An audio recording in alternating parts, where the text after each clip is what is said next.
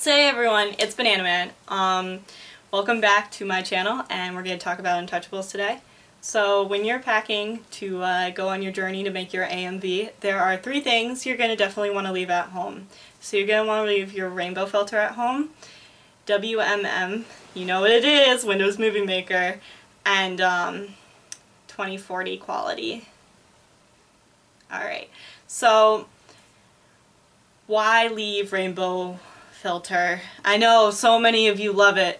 Um, well, when you start to get professional, it really leaves you behind, and um, if you want to compete, you're gonna need something of higher quality than um, rainbow filter. If you love rainbows, you just you just gotta have them. There are tons, tons, I tell you, tons of alternatives. So if you want to use rainbow filter, but you don't want to use rainbow filter, you can choose several animes out there that have high quality just lovely colors and they're great and they will give you the impression of a rainbow but without having the rainbow filter.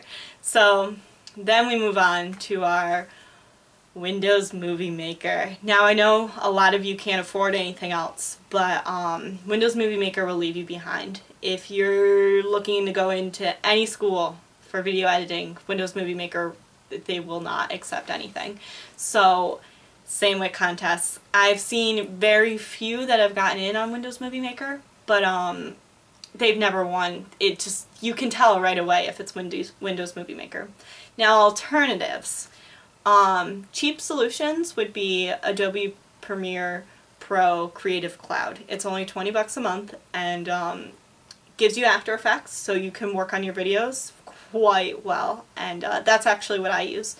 Um, I've heard from friends that I talked to that Sony Vegas good. Um, it's a little easier than After Effects but um, more limited so beware when you're getting it. Then you can go full out and buy like an editor system, um, which I wouldn't recommend if you're just starting out. Um, and you can tell the difference between the qualities of these videos very easily, so I would check them out.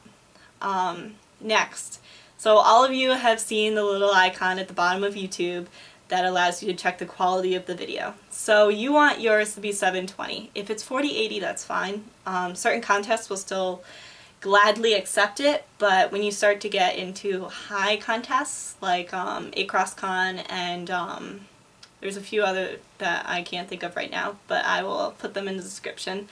Um, they want 720, they want the 1001, they want as high quality as you can go because they're using really big screens and they don't want it to be blurry. So 2040 is out of the question and a little way to get around that is if you're downloading your um, videos from YouTube, then you want to do a higher quality than you're aiming for because then if your system even brings it down the level, you're still safe. So that is my helpful hints for today and to leave the untouchables behind.